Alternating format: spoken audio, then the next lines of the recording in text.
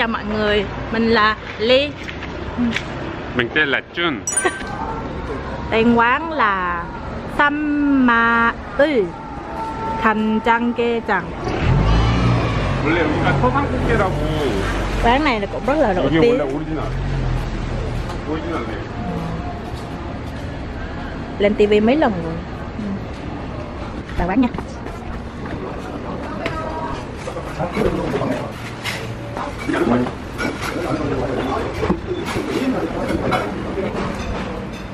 No.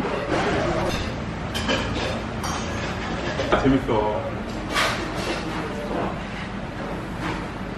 À ok, hôm nay hai đứa mình đi ăn uh, gẹ ngâm tương Hàn Quốc Thành Trăng Kê Trăng 나는 김치찌개 thì cái món này nó như thế nào nhiều người thấy nó rất là khó ăn đó bởi vì tương cua là cua sống cua sống xong rồi các bạn uh, họ người ta sẽ chế biến bằng cách là ngâm trong nước tương.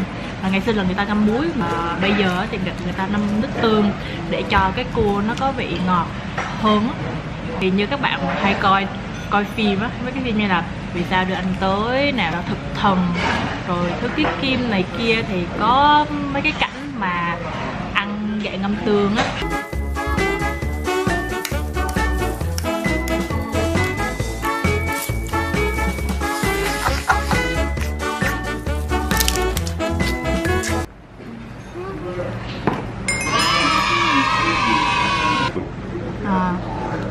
cái đây là một con nè.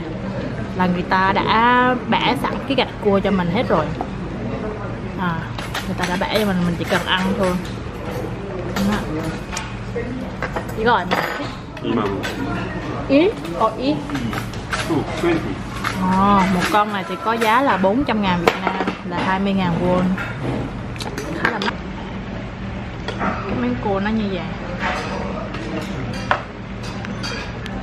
gạch rất là nhiều luôn Bởi người ta chọn cua rất là kỹ phải là những con cua mà mập mạp và với lại có gạch nhiều thì mới làm được cái món này Gạch sẽ măng. 음 그렇게 하는 거 아니지 이렇게 하는 거잖아 그 다음에 이거를 빨아 à rồi nặng ra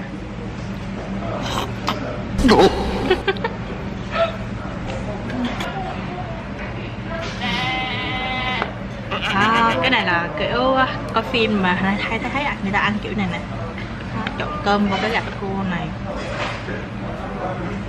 안에까지 팍팍 긁어야 돼 một 팍팍 cái gì á 음.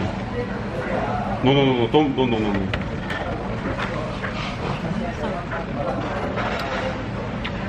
ừ.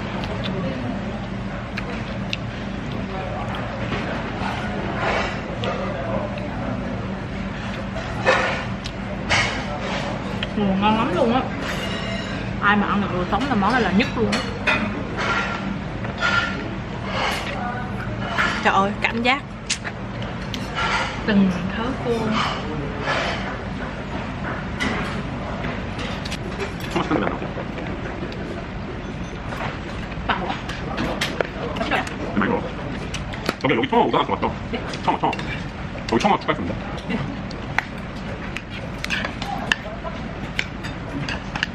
Bueno.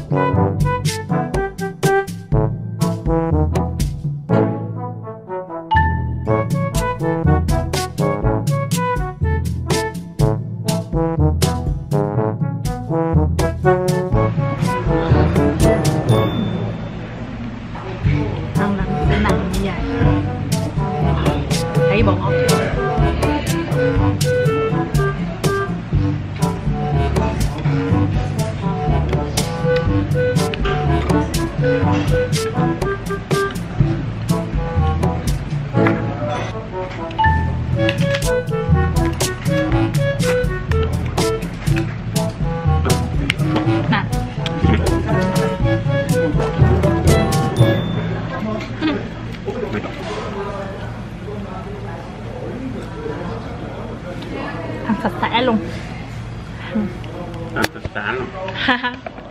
Thì video đi ăn cua ngâm tương ngày hôm nay đó là kết thúc. Các bạn thích cái video này nhớ like và subscribe cho hai đứa mình nha.